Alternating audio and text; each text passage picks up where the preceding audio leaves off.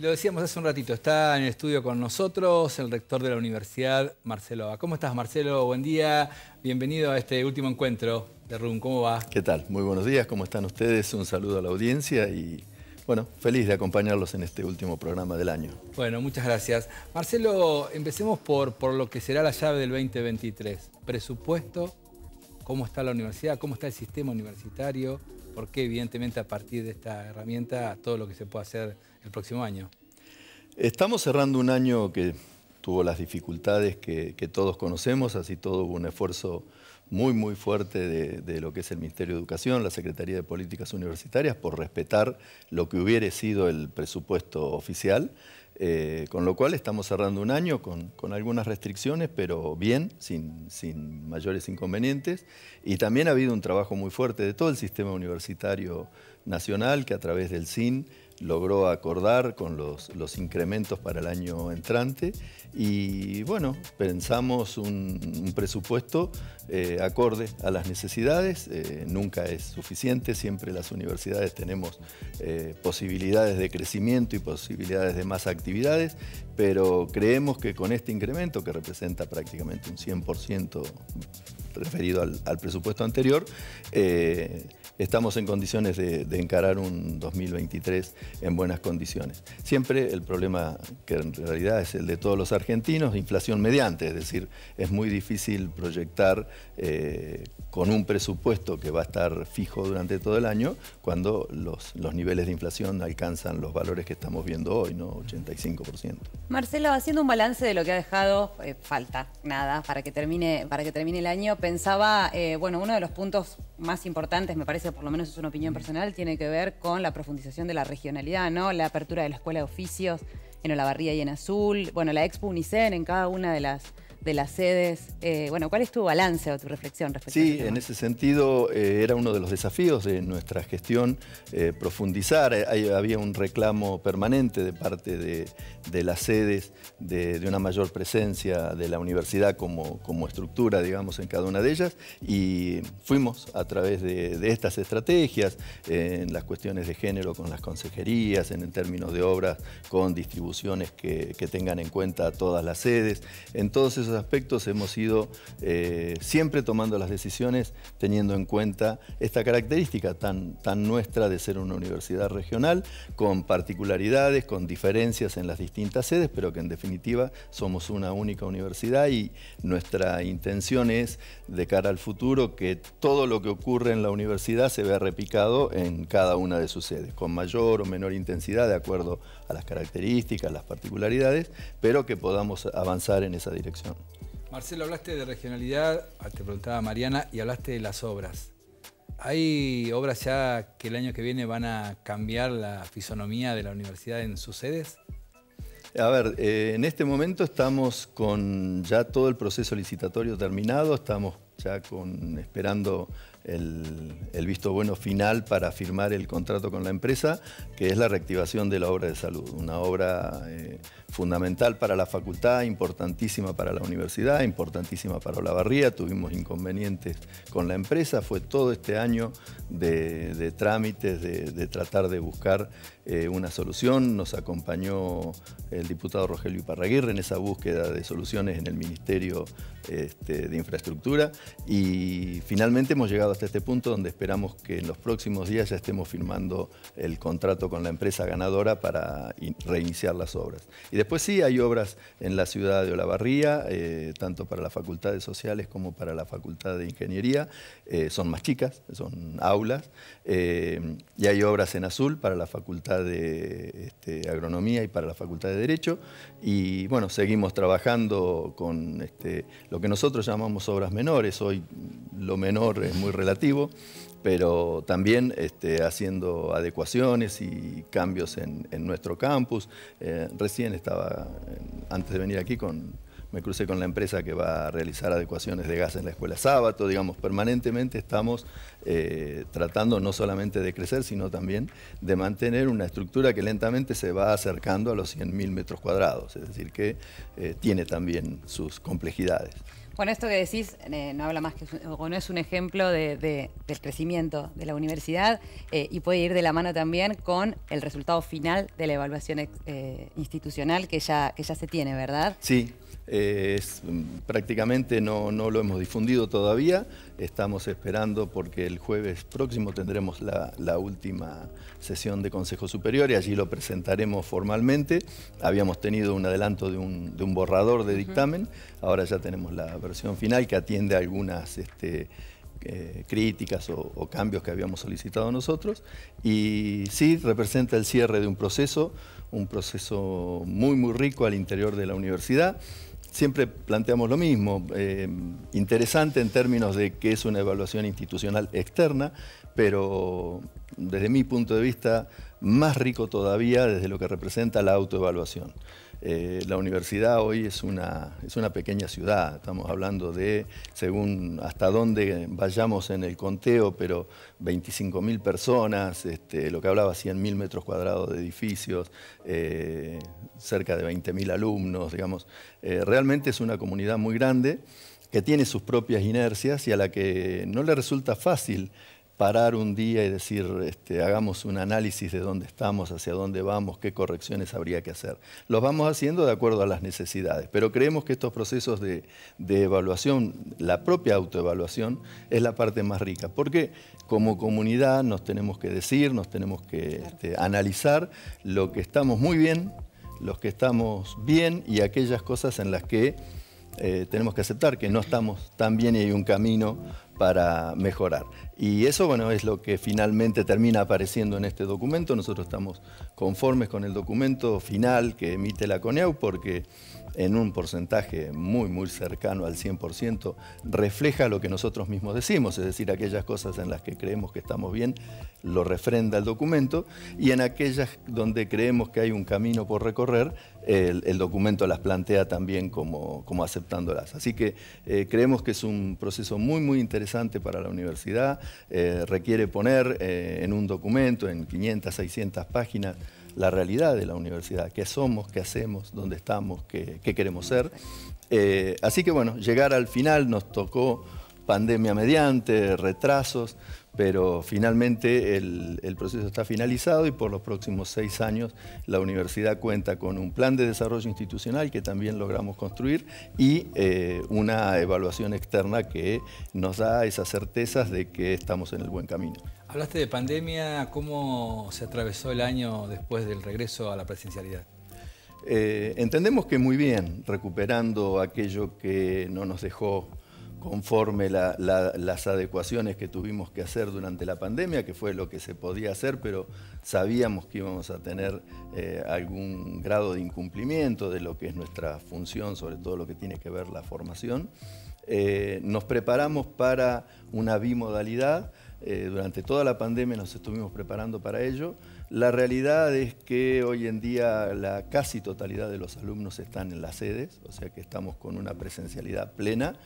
Y sí estamos utilizando la bimodalidad como una herramienta, no, no por, por, cuestiones post-pandémicas, sino porque tenemos algunas carreras con números de inscriptos eh, que rondan los 700, 800. Eso lo hace muy, muy difícil de manejar en un aula. perdón, Marcelo, ese sería como el, el, medio vaso lleno de la pandemia, ¿no? Porque, digamos, uno, la universidad se tuvo que readecuar y hoy hay un sistema bimodal que antes tal vez o se pensaba o se planteaba, pero rápidamente hubo que implementarlo. Exacto, en ese momento fue la emergencia lo que nos llevó, quizá en esto de ver algo del vaso más este, lleno, eh, la universidad reconocía la, presencialidad y la distancia, pero no, no tenía aceptada esta bimodalidad de, esa presencialidad mediada por, tecnologías y esta forma hoy tiene, ha sido revalorizada. Hoy, eh, incluso para reuniones, para cualquier tipo de actividad, es totalmente normal que se plantee, bueno, se hace un Zoom y lo resolvemos, y eso antes no estaba bien visto. Si no era presencial, era como que perdía, y, menos todavía si uno planteaba, bueno, algunos presenciales y otros a través de una tecnología, era como perder este, posibilidades. Hoy en día eso se ha, se ha aceptado, hoy tenemos tanto para la docencia como para la parte de, nuestra propia gestión, la posibilidad de manejarnos con las tecnologías y creemos que es un avance muy importante. Por último, Marcelo, ¿qué expectativas con la matrícula 2023? Buenas. Eh, nosotros salimos de la pandemia, o tal vez debería decir antes, pensábamos que íbamos a tener una este, pérdida de alumnos post pandemia. La realidad nos mostró que eh, no, eso no ocurrió. Eh, nosotros no, hemos tenido disminuciones importantes en el número de alumnos por motivo de la pandemia y en realidad tenemos valores super, hoy de alumnos, números superiores a los que teníamos previo a la pandemia, es decir, que hemos incrementado nuestra matrícula. En algunas carreras esto es mucho más notorio, en otro es el crecimiento más eh, regular que veníamos teniendo. Eh, la universidad viene creciendo normalmente alrededor de un 10% anual, pero en algunos casos esto es mucho más alto. Y este año se están en plenas inscripciones y lo cierto es que estamos teniendo muy, muy buenos registros. Así que probablemente la CESPO, yendo a cada una de las sedes, todo el trabajo de difusión, el trabajo que realizan las facultades, el posicionamiento que la universidad sigue teniendo, va incrementando día a día. Hoy tenemos un, posicionamiento a nivel nacional muy, muy importante, trabajando codo a codo con ministerios como educación, con salud, con presidencia de la nación. Y eso también nos pone mucho en los medios, nos, nos presenta de otra manera y todo ello sumado seguramente al, buen concepto que la sociedad tiene de la universidad, en todo, en todo su conjunto, en lo académico, en lo que representa en términos de bienestar, en términos de, de la vida, en lo que son nuestras sedes, está haciendo que tengamos una muy buena preinscripción. En este momento estamos con las inscripciones abiertas, pero los números son muy alentadores, así que esperamos tener un muy buen número para el 2023. Gracias, Marcelo. Gracias. Gracias a ustedes, realmente un gusto agradecerles el trabajo que realizan para hacer conocer eh, lo que es la, Universidad Nacional del Centro en toda nuestra región. Hace un par de noches estuvimos en, la celebración del programa de, Desde el Conocimiento y con el ministro, con el secretario y bueno, hablábamos de lo mismo, ¿no? lo importante que son los espacios que permiten que la sociedad, que es quien nos sostiene definitivamente como, estructuras de trabajo, eh, sepan lo que nosotros estamos haciendo, lo que la universidad realiza día a día, eh, nos parece una, labor fundamental, por eso se las, se las agradecemos, porque también para nosotros es una forma de rendir cuentas a la sociedad. Así que muchas gracias. Gracias, Marcelo. Gracias, Marcelo. Eh, pausa, enseguida volvemos con el segundo bloque.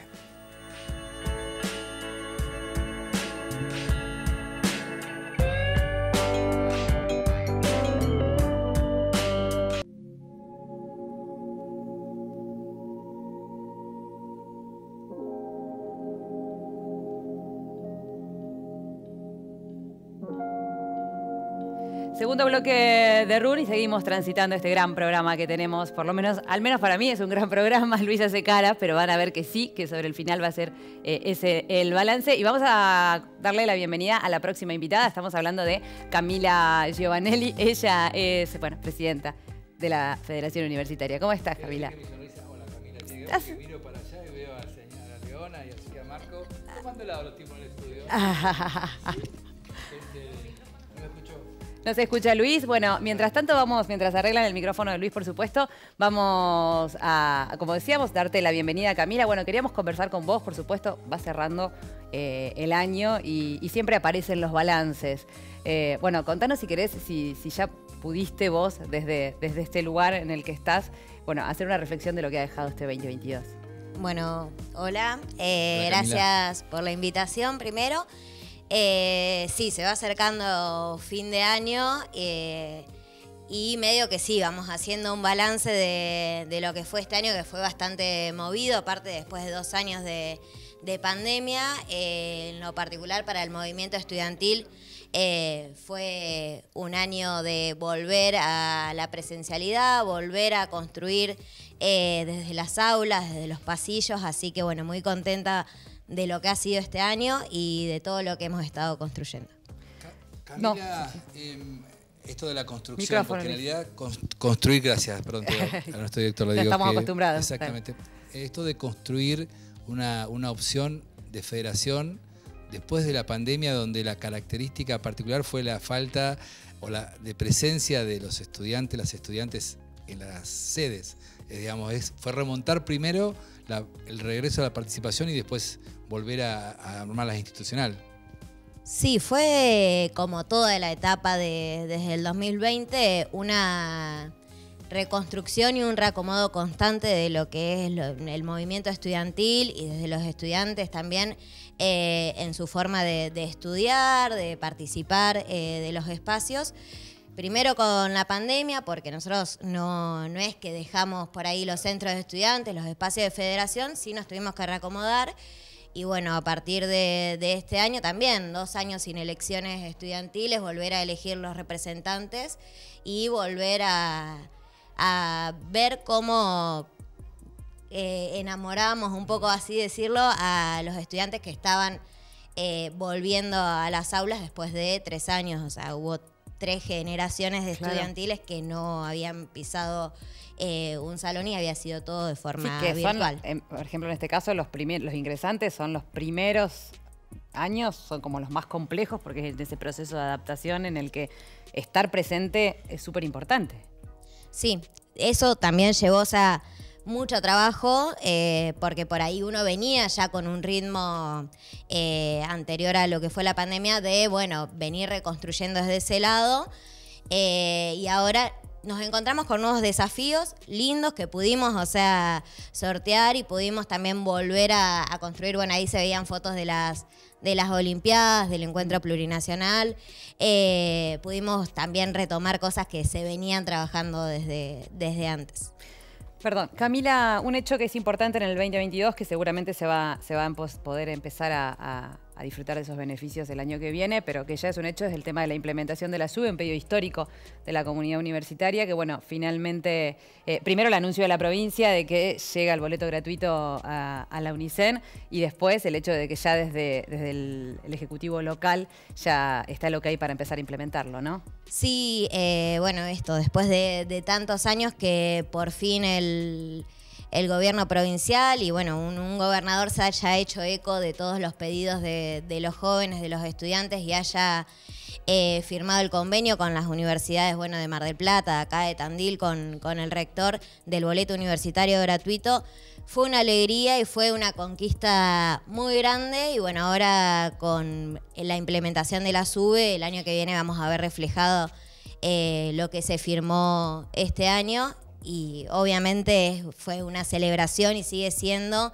Y, cuando se implemente y los estudiantes pongan su tarjeta y el boleto sea, sea gratuito, vamos creo a dimensionar o a terminar de dimensionar lo que, lo que se ha vivido este año y que va a haber sus ecos el año que viene. Camila, ¿cuáles serán los, los proyectos más destacados en, la impronta que tengan del año que viene de la federación? Bueno, vamos a seguir, creo yo, trabajando y caminando de la mano con, la universidad, con el área de, género, eh, con extensión. Eh, este año trabajamos mucho lo que tiene que ver con los comedores autogestionados, bueno, el transporte público también. Eh, yo creo que seguiremos por ese camino. Obviamente después hay desafíos que que se te van apareciendo en el día a día y por suerte nosotros hemos podido dar eh, respuesta desde los centros de estudiantes, desde la federación, de los consejos académicos y superiores a esas demandas estudiantiles. Y yo creo que bueno, ese va a ser también el camino que, vamos a tomar el año que viene. Una cosita más que quiero preguntarte, hablaste recién de, bueno, del, año que viene y quería preguntarte cómo, cómo están observando la situación socioeconómica del estudiantado porque evidentemente es un punto súper sensible. Sí, eh, nosotros vemos que hay muchos estudiantes hoy en día que están con problemas económicos y problemas desde sus familias. Por ahí el estudiante lo que tiene es que muchas veces es la familia quien la ayuda a, a que se vaya a estudiar o a que se quede en su ciudad y pueda estudiar y no tenga que salir a trabajar. Sí hay muchos estudiantes que, trabajan, por eso es importante también eh, las posibilidades que dan las diferentes carreras en las franjas horarias.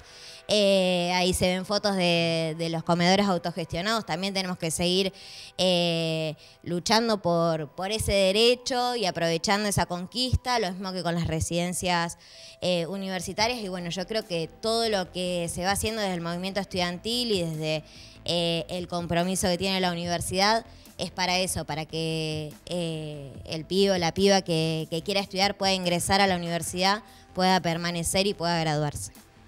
Camila, gracias. Muchas gracias, Camila. Gracias a ustedes. Bueno, ¿te vas? Sí, los voy a, los voy a dejar unos segunditos nada más acá, a la grúa, porque queríamos mostrar el gran despliegue, el gran despliegue que hay en este lado B del estudio. Ven muchos, muchos micrófonos, ven música, ven sonido, porque sí, porque cada uno de los finales de Run siempre son musicales y hoy, este último programa, queríamos que sea una fiesta. Y si hablamos de fiesta, hablamos de Vieja Minga. Vieja Minga, que es un grupo eh, de muchachos que cantan cumbia latinoamericana, que ya los vamos conociendo y cada vez que ellos se presentan es una fiesta, hacen covers, hacen temas propios y por supuesto queríamos que estén aquí en el piso de Abra eh, en este último programa de Room. Así que, como decíamos, quédate ahí porque yo les puedo asegurar que va a ser un lindo momento a buena música, ahí despidiendo este gran año que hemos vivido. Pero ahora seguimos con Luis, ¿estamos de acuerdo? No, ¿está Luis? No está Luis. Si te parece, eh, vamos a hacer una breve pausa. Teo, ¿me parece? No. O esperamos a que Luis esté... Ahí estamos. Ahí estamos, ahí estamos, ahí estamos llegando. También tenemos comida. Déjame decir que también tenemos comida. Tenemos eh, esta sección que implementamos en el último tramo del año que tiene que ver con quienes son productores y productoras de la economía social y solidaria. Hoy está Madre Arepa, así que también quédate porque vamos a comer y vamos a degustar algo rico de lo que hace Andrea de Madre Arepa. Pero ahora sí, están listos. Vamos con Sofía y con Luis. Sofía, Hola, muy buen viernes para todos. Contenta de estar acá otro, otro viernes más, el último. Yo no me quería perder esta fiesta. Tenía razón Mariana, ya vendió todo lo que, lo que falta en el programa. Era como, no podía no estar. Y vos vas a vender más para mañana y pasado, Yo así voy que... a vender un tremendo fiestón porque estamos acá con Marcos y con Leonela de los adoquines de fulano de tal. Eh, y ya estamos ahí en, en los últimos minutos para estos 10 años del Villagaucho Rock que bueno, es un festival que, venimos acompañando este año en su realización, así que trajimos en primera voz a los protagonistas de este tremendo festejo que vamos a tener este, día, este sábado perdón, y este domingo en nuestra ciudad. ¿Cómo andan? Buenos días, gracias por la invitación también, gracias por este espacio para poder difundir esto, lo que venimos trabajando hace 14 años con los adoquines de fulano de tal y que nos representan 10 años del Villagaucho Rock, ¿no? Un trabajo espectacular y muy amado por lo menos por todos los que formamos parte de este evento. Así que muchísimas gracias por el, por el espacio. Bueno, ah, no sé si ve. Yo no sé si tengo... Eh, ¿Me escuchaste a mí? ¿Bien? Ah, perfecto. Bueno, sí, eh, la verdad que cuando uno mira el desarrollo, Sofi, Leona, Marco, de, de, de Villagaucho Rock y todos los adoquines de fulano de tal, entiende la importancia de recrear la cultura del barrio dentro del barrio, ¿no? Que muchas veces esta idea de buscar siempre... Eh, lo digo muy, muy vulgarmente, el centro para mostrar cuando en realidad la vida misma tiene en cada barrio su cultura. Y ustedes lo han hecho de forma maravillosa. Creo que, no sé, Sofi, vos que sos una, persona que recorres mucho la ciudad, es una de las experiencias más fuertes que tiene la ciudad. Sí, un poco en su momento hablábamos a principio de año de, revalorizar, digo, son 14 años de los adoquines, 10 del Villagaucho, digo, creo que hay pocos eventos que tienen tantos años en nuestra ciudad de organización y de construcción que se generan de manera independiente, digo, porque nosotros tenemos algunos eventos como, no sé, Fría Libro Festival de Cine, que tienen por ahí una clase institucional mucho más fuerte, eh, pero me parece que lo que tiene de hermoso su, laburo es eso, que es bien de, los vecinos, las vecinas, eh, rescatando la identidad del barrio, rescatando eh, el, arte, digamos, que, sucede ahí y principalmente, que es lo que más admiro de, este proyecto, la cantidad de, de vecinos y vecinas involucrados en ese hacer. Sí, y es que es tan propio, esto es lo que pasa, cuando es tan propio, es tan sentido como que es natural lo que pasa en el barrio, ¿entendés? Hoy en día, por lo menos a todos los que nos somos, ahora en este momento se cortaron las calles, ya estamos con armado el escenario, como está el barrio revolucionado, revolucionado, porque es algo que lo sentimos muy propio porque es nuestro, es algo que nació de una necesidad que teníamos en el barrio, que era poder lograr algo, poder tener algo para hacer, otra oportunidad que no sea la de perder el tiempo en otros espacios. Y la verdad lo encontramos por una necesidad nuestra y creo que por eso se, se defiende y siempre esto, vamos a bancar la movida de hacerlo en Villagaucho, en el lugar donde vivimos, en el lugar donde sabemos dónde están los problemas y cómo son las posibles soluciones que queremos y son las que estamos presentando año a año con esto, con sumar más vecinos a la organización, porque es la única forma, creo, la salida es colectiva, sin lugar a duda, y en este caso creo que lo estamos tratando de hacer de esa manera, pues no hay otra, no nos queda otra. Poder bancar la cultura popular que se genera en el barrio, la identidad, es entre todos y de una manera plural y en el lugar por supuesto, en el lugar. Nada de desarmar, nada. No se desarma nada en Villa Gaucho, por suerte. Mucho... aparte de año a año, los vecinos cada vez van sumando más. Es como que se hace todo más familiero. Eh, también eh, eh, encontrarse con nosotros en las reuniones, el, estar ahí con, todo el tiempo es como que está muy bueno. y en todos los, los, eventos que genera también los adoquines, como que siempre es cada vez más y está buenísimo eso. Y además, porque sigan muchas muchos vecinos nuevos y vecinas nuevas al barrio. Sí. ¿Cómo, cómo, cómo los, no cómo los reciben, sino cómo, cómo absorben esta idea, esta experiencia que es Villagaucho?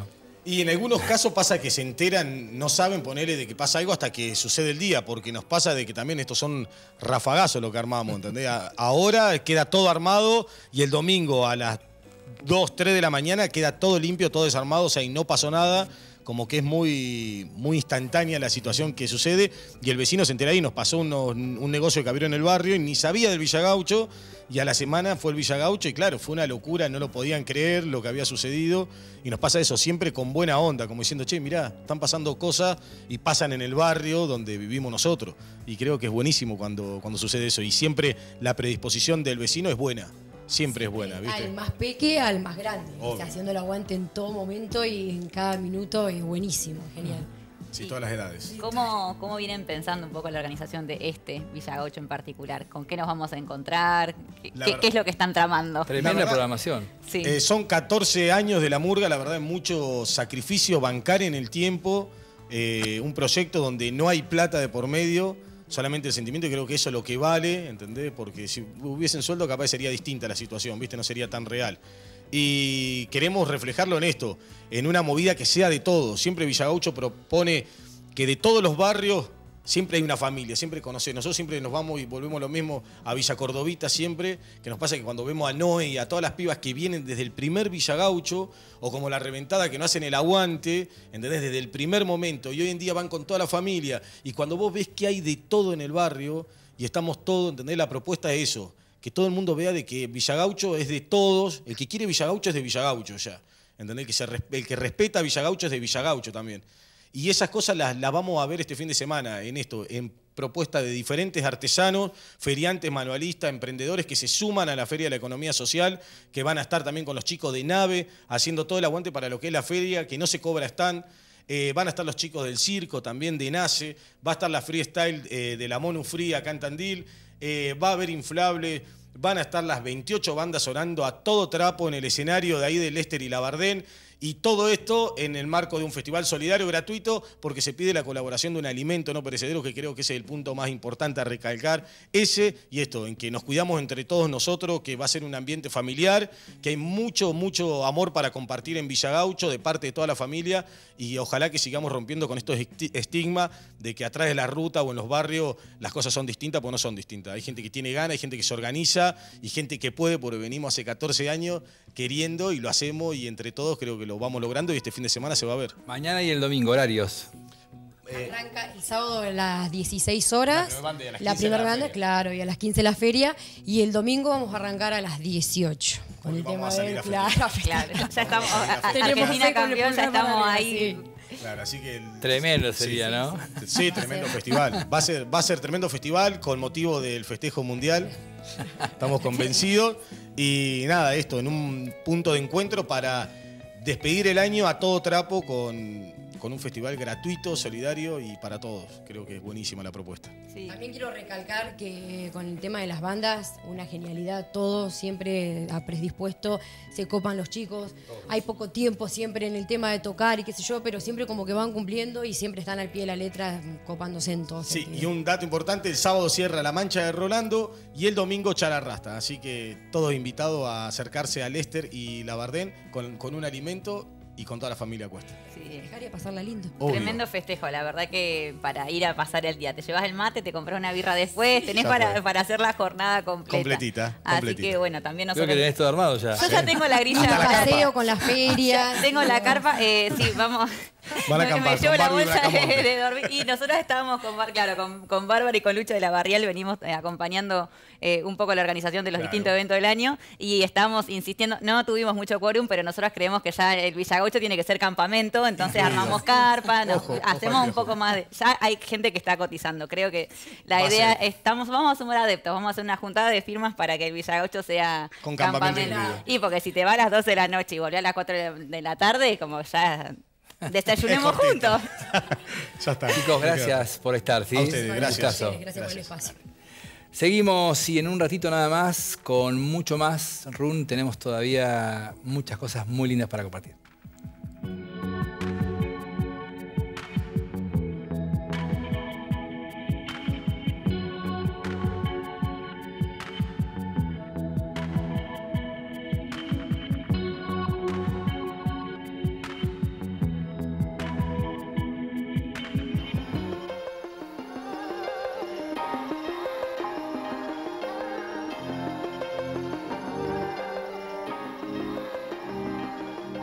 Lo venimos diciendo, lo venimos diciendo. Hoy es un programa muy completo y bueno, vamos bloque a bloque vamos redoblando ahí la apuesta. Ahora vamos a cocinar. Ahora nos toca hablar eh, de esta sección de la economía social y solidaria que nos encanta porque productores y productoras vienen y nos muestran qué es lo que hacen. Y como pueden ver en pantalla, por supuesto, vamos a darle la bienvenida a Andrea. Eh, por ella es productora de Madre Arepa. Tal cual. ¿Cómo estás, Andrea? Muy bien, muchas gracias por invitarme, por este espacio que es tan importante para los productores y las productoras eh, y además eh, la economía social y popular, que algo muy importante que quería decir así como al principio Diga, diga. es que además es como muy manejada y llevada por mujeres. Eh, la economía social y popular está como en, eh, las mujeres somos las que estamos llevando adelante estos proyectos, así que no quería dejarlo Sí, de además es súper interesante lo que decís. Se ha, digamos, formalizado lo que informalmente existía. Claro, Sí, esa, esa mujer, jefa de familia, Mm. que llevaba adelante las cosas este, y no había una- un reconocimiento y una visibilidad y una organización. Sí, sí, así es. Y bueno, y también porque se han eh, creado nuevos espacios para que nosotros eh, podamos eh, eh, elaborar los productos y entregarlos directamente a los consumidores, que es lo importante también Claro. de la economía social y popular. Andrea, contanos todo este despliegue que tenemos acá arriba. Por- en, en principio Genial. quiero contarles que tengo mucho calor, porque esto está esto prendido. está prendido, hay una hornalla prendida. No tenés hermano, yo voy a Siga, meter siga, mano. sí, sí, Esto no sí. se quema. Eh, no, eh, bueno, realmente estas, est- estas son las arepas, están ya precocidas, así que bueno, en este momento tenemos en la hornalla cuatro arepas, eh, vienen en estos paquetitos, originalmente están frisadas y lo que hace el consumidor o la consumidora es llevarlo directamente a la plancha o a la sartén. ¿Qué producto es la arepa? por Bueno, ejemplo? la arepa... Contanos con- cómo las arman. Genial, bueno, eh, el origen de la arepa es el maíz eh, blanco partido, Ajá. em, que es el, el maíz que se utiliza para el, el locro. Eh, y yo lo cocino, lo muelo y después va a quedar esta masa muy homogénea. Ah, mira, t- tiene todo como para, como para, para hacer una arepa. mostrarles. Dale, dale. Bien. Si querés, mientras vamos charlando, Entonces, mostrarnos. Bien, bueno, por acá tengo algunas herramientas de, de- de elaboración que están envueltas en film porque, bueno, eso ase- asegura también como una mejor higiene, em, por lo menos para mí. Y lo que normalmente hago después de cocinar, moler, es eh, después, al tener esta masa, es armar bolitas. Es muy artesanal. em, Esto vos decís que lo cocinás, esto es maíz. eso es maíz. Sí, lo cocinás, que lo hervís. Sí, lo hiervo más, Más o o menos, yo más o menos por elaboración hago 10 kilos, así que más o menos son 3, 4 horas de hervor así eh, con agua que voy agregando, voy agregando y más o menos ese es el tiempo de, de co- de cocinar. Después- Una Bueno, cocción baja, una, co- una cocción de fuego medio bajo, sí. 70, 80, más. Eh, por ahí, no sé, mm, menos capaz. Ajá, 40, Mm, 50. Sí, sí, sí, Mínimo. sí, mínimo, Claro, sí. mínimo, sí, sí, y sí, sí. antes de eso yo lo dejo en remojo, más Ajá. o menos unas 6 horas. Ah, lleva un Eh, proceso lleva- largo, de un tiempo importante, porque son tres o cuatro horas de cocción, Sí, más sí, seis sí. horas en, en agua. Claro, sí, sí, sí. Así que bueno, y tengo esta, es una planchita que me hizo eh, una persona que es muy creativa y se da mañas y me hizo una planchita para, eh, yo lo que hago es esto, pongo la bolita en la planchita, voy a voltearla porque es como la, el derecho de la, la pongo A acá, ver si se ve bien. aprieto, ahí está, y luego con esta, este moldecito corto.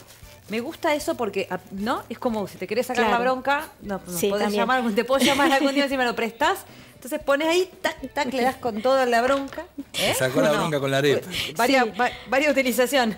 Hacenos otra, a ver, Bueno, mostrar. acá Voy quedó. a probar yo. ¿Querés quedó- que pruebe yo? Sí, claro que sí. Ahí está. Acá lo que sí. Tengo ver, las manos limpias. Sí, muy bien. Tengo las manos limpias. Decime más o menos un poco cuánto más, que sí, agarre ¿Más? más, que como un bollito que le quepa en, en el cuenco de la mano. ¿Esto? Eso, ese está bien. Lo moldea un poquito, Lo moldeo un poquito. vale, y lo pone ahí. Me encanta. Muy bien. Te hago una pregunta, Sí, Andrea, acá, que no, no nos escuche Ahí. Zaira. Cuénteme. ¿La arepa es colombiana o venezolana? Pero, Bajito porque Zaira se nos ¿eh? viene... Mirá, mirá. Bueno, Uy, me parece eh, que apreté mucho, ¿no? Tenía mucha bronca. es, eh, Vamos sí. de nuevo. Y yo te dije que era para. Le dedico mucho, Poné le un dedico poquito mucha más, bronca. creo. Muy bien. Es con menos, con más amor. Claro, un poquito, sí, es cuestión de práctica también hasta amor. dónde la, la baja uno, pero Claro. bueno, vamos a volver a amor, intentar. vamos a intentar. La arepa Es es, una discusión que es una siempre. discusión, sí, eh, una de esas, eh, si, que, si queremos pelear por una Mm. bobada, peleemos por qui- de quién es la arepa, de quién es el mate, si es de, Sí, de los uruguayos o de los argentinos y así con la arepa. Así que pasa que en Colombia tenemos dos, eh, bueno, esa que por ejemplo quedó chica. Pero Lo es- son las cámaras, como se dan cuenta. en Colombia eh, tenemos dos tipos de arepas, digamos, la de maíz amarillo la de maíz blanco. Ah, en Venezuela solamente hacen de maíz blanco. En Venezuela son más expertos rellenándolas. Nosotros por ahí le agregamos cosas arriba o solas. Y hay un dato muy especial que eh, en Antioquia, en la zona de Antioquia, no, eh, no comen la arepa. eh, como esta que tenemos ahí, sino la comen más finita, que es esta Más que panqueque, tenemos acá. digamos. Claro, y sin sal.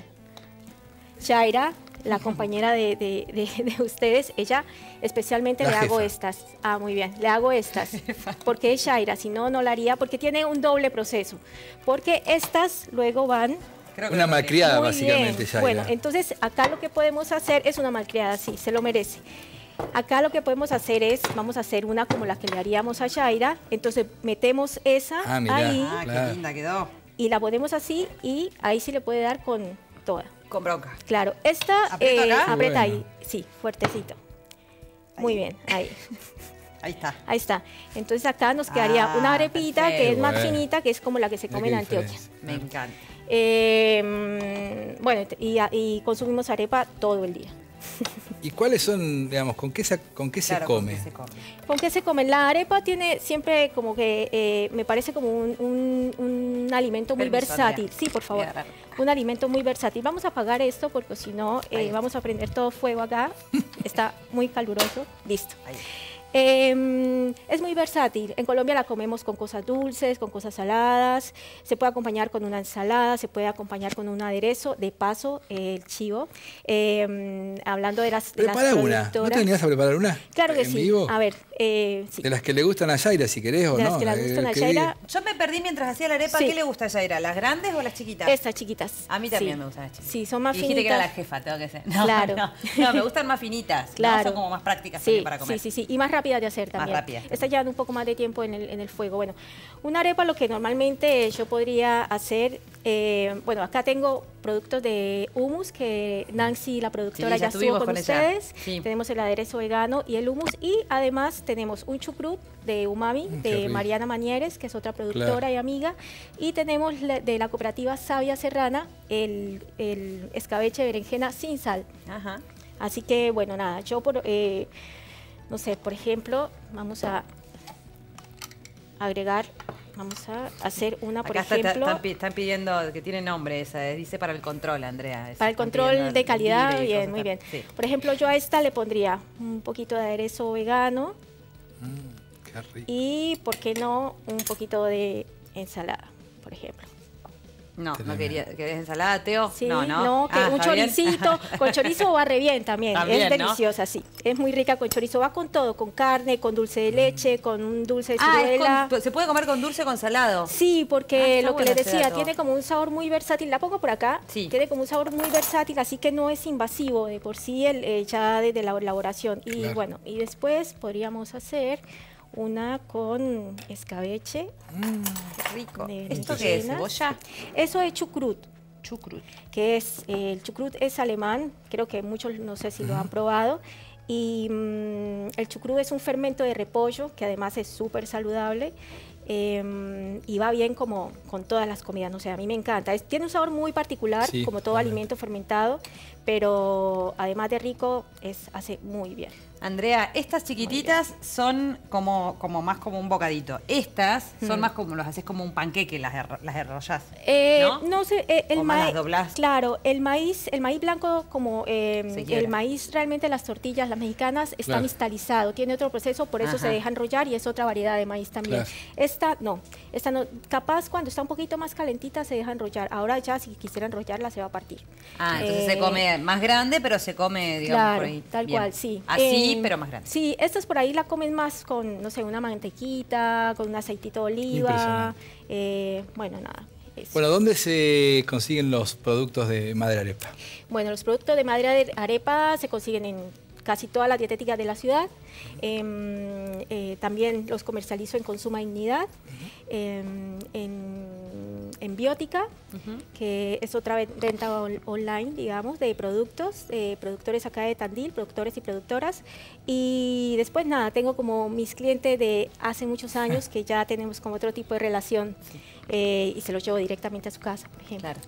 Bueno, la, la vez anterior yo estuve probando los productos, así que como último programa me parece que Luis ha salido sorteado para re probarlo fácil al de aire. comer, Aparte ¿no? te- tenés ganas Sí, de probar, parece sí. que te gusta. Yo No sé qué le recomendaría, estas están frías, yo le recomendaría algo más calentito. ¿Esta? Porque, bueno, la arepa está bueno comerla calentita, si no es medio... comer. Ahí está. Muy Así, bien, sola la calentita. prepáresela con lo que quiera, Luis. Pero ¿qué- ¿con qué le vas a poner, Luis? ¿Tenés Yo lo más simple que no se me caiga, básicamente, digamos. Hummus, Una mayonesa vegana. ahí, acá Ahí está. y ahí, mira. Ahí está bien, así está bien. Sí. Poco es mucho para quienes están enviándome detrás de cámara. básicamente. Así, con el hummus nomás. Sí, sí, totalmente. Bueno, a ver. Mm, riquísimo. Sí, es maíz blanco, Mm. eh, eh, tiene un toquecito de aceite de girasol y sal marina. Tremendo.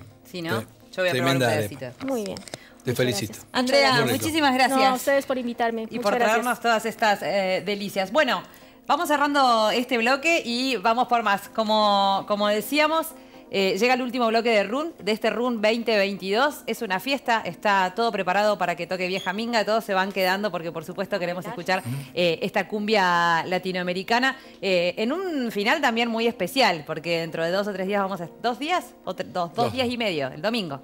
Vamos a estar jugando la final del mundo, así que bueno, todo es una fiesta. Quédate del otro lado porque ya viene Vieja Minga.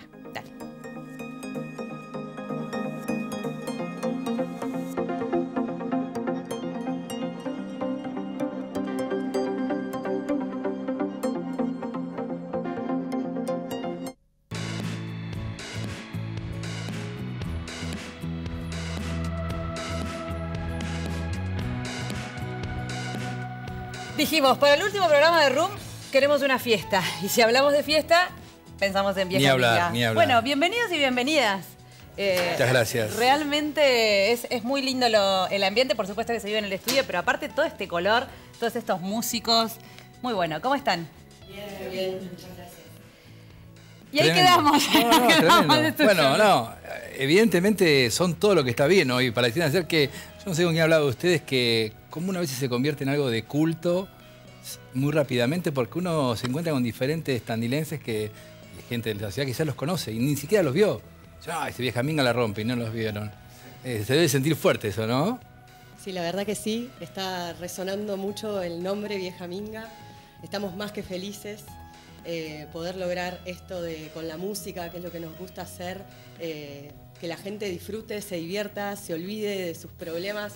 La verdad que está buenísimo y lo estamos disfrutando muchísimo. Natalia, me has dicho. Natalia, eh, cuando, cuando me ponía a preparar eh, y sabía que iban a estar ustedes al cierre, me puse a leer un poco y, bueno, y leí que porque el, por qué vieja minga, ¿no? Y bueno, minga quiere decir que es una fiesta de amigos, algo así es el sentido. Sí, sí, así es. Eh, nosotros somos como un grupo que es como algo colectivo, digamos, entonces un poco minga viene desde ese lado, de la cosa cooperativa, de de, bueno, del disfrute, de la diversión, así que viene por ahí el nombre. Bueno, me parece que estamos de más con Mariana acá, así que nadie nos quiere escuchar a nosotros. Así que bueno, rompanla como siempre. gracias, por estar. Gracias. Bueno, nos vamos antes de... acá, a la 2. A la 2, acá. Nos vamos. Un año intenso para, para RUM, para la productora, para Abra, para el canal, para la universidad, para la Argentina. Muy intenso para el mundo pero bueno, con mucha satisfacción de poder este, estar aquí dando batalla. Sí, así es. Aparte siempre nos quedamos con lo positivo, tuvimos un año hermoso y mirá de qué manera lo estamos cerrando. Lo estamos cerrando con Vieja Minga que va a cantar y en lo personal y en la Argentina en general el domingo con una final esperadísima que le vamos a ganar a Mbappé y después al resto de los 10 que lo acompañan. Así que el domingo vamos con todo Argentina, que tengan un hermoso fin de año y bueno, Sí, y agradecerles a, todas y todos nuestros compañeros que, bueno, hacen posible que esto sea realidad y que tienen una jerarquía y un prestigio enorme que nos hace súper responsables en el momento de enfrentar cada programa. Así que muchas gracias por, cuidarnos tanto y también a ustedes por, elegirnos cada viernes. Ahora sí, a bailar todos los que están detrás de, de cámara con vieja minga a cantar y a festejar la vida. Chau, chau. Chau.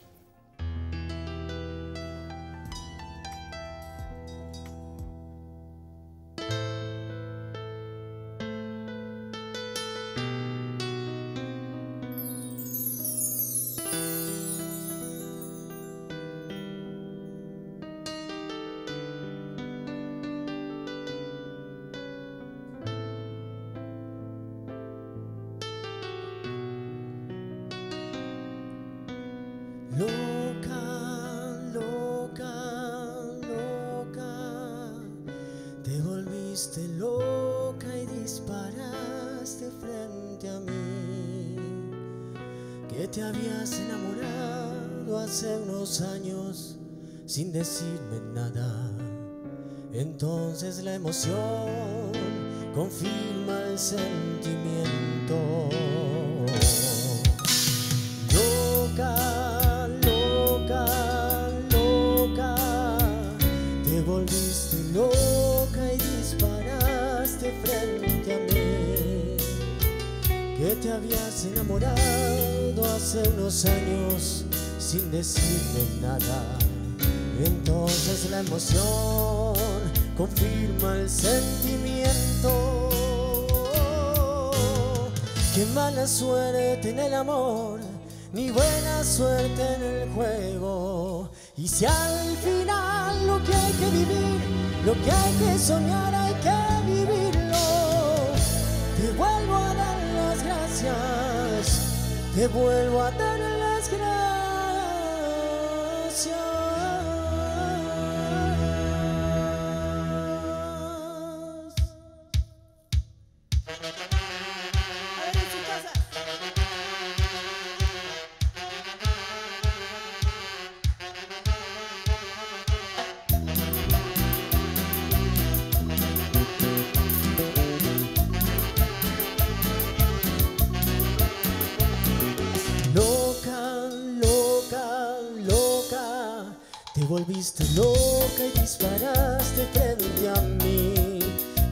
habías enamorado hace unos años sin decirte nada. Entonces la emoción confirma el sentimiento. Loca, loca, loca Te volviste loca y disparaste frente a mí. Que te habías enamorado hace unos años sin decirte nada. Entonces la emoción confirma el sentimiento. Qué mala suerte en el amor, ni buena suerte en el juego. Y si al final lo que hay que vivir, lo que hay que soñar, hay que vivirlo. Te vuelvo a dar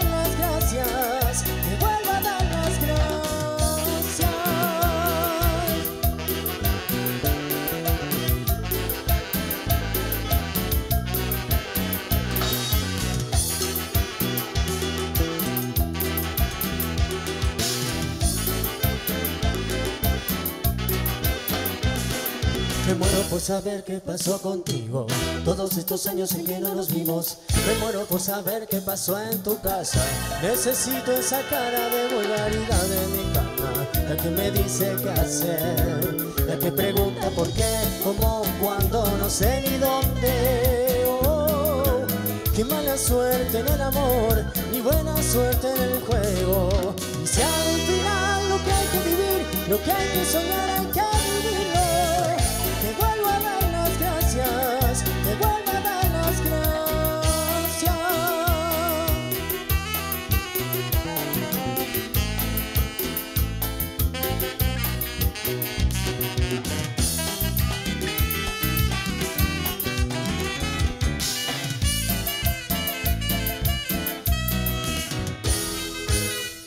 suerte en el amor, ni buena suerte en el juego. Y si al final lo que hay que vivir, lo que hay que soñar, hay que vivirlo. Te vuelvo a dar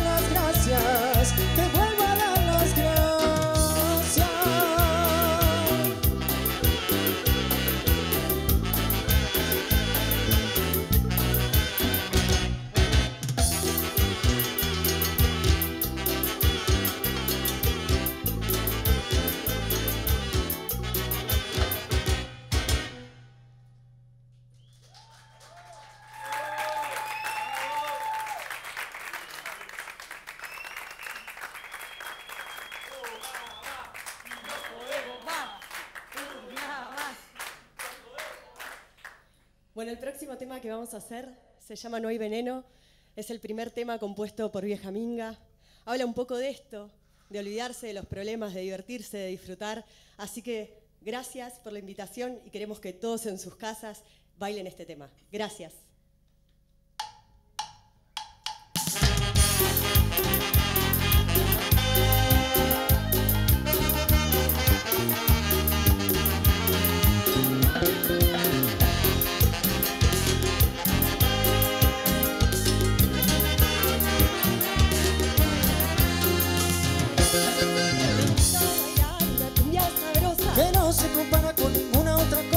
Cosa. sentimiento no se limita Sentilo, gozalo, se armó la cumbita. No pongas excusas, no te hagas problemas Vente corriendo, la rumba está buena. No pienses en nada, mueve la cadera Si explote esta banda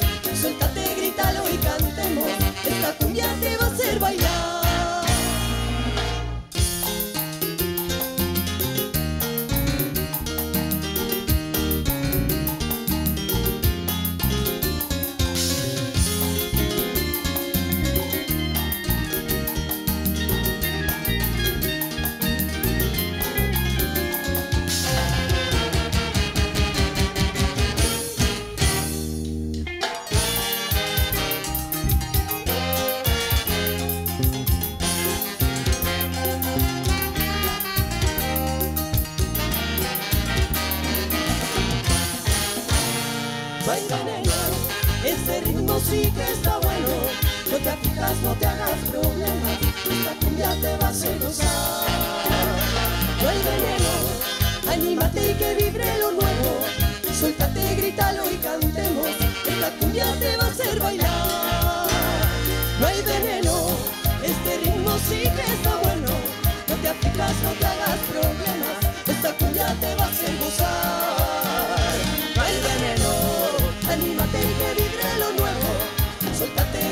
Grítalo y cantemos. Vieja amiga te va a hacer bailar.